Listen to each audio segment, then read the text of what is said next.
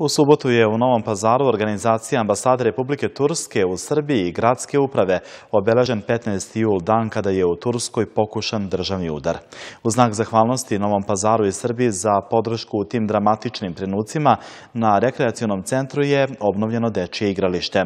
Ovaj dan obeležen je i drugim događajima. Pre godinu dana, 15. jula, pokušaj državnog udara osujetili su obični građani Turske koji su verovali u slobodu i demokratiju. Bila je to herojska priča jer su ljudi iz naroda rizikovali svoj život suprostavljajući se egzistencijalnoj pretnji po svoju zemlju. Prva godišnica propalog pokušaja državnog udara obeležena je u Novom pazaru u organizaciji ambasade Republike Turske panel diskusijom u koncertnoj dvorani Doma kulture, a zatim i izložbom fotografija u galeriji Multimedijalnog centra. Pre toga na rekreacionom centru Turska agencija za razvoj TIKA otvorila je obnovljeno dečje igralište kao poklon gradu koji je bio uz turski narod u vreme puča. U koncertnoj dvorani Doma kulture učesnicima je emitovana video poruka zahvalnosti Novom pazaru i Srbiji, Turske države i naroda za nesebičnu podršku tokom puča, a čula su se i sećanja direktnih učesnika u događajima.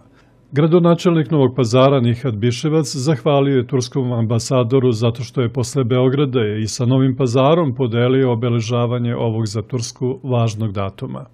Te noći Novi pazar i Sanđak nije spavao, brinuo je sve šta će se desiti do same zore kada je bio siguran da je narod Turske odbranio demokratski izbranu vlast i demokratske principe.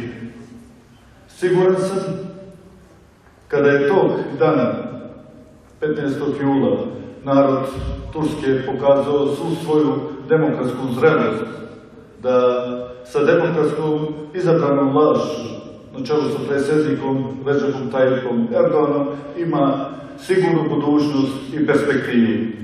U galeriji multimedijalnog centra učesnicima panela predstavljene su 43 fotografije puča, ali na kojima je odlučnost i odvažnost jednog naroda da pobedi demokratija.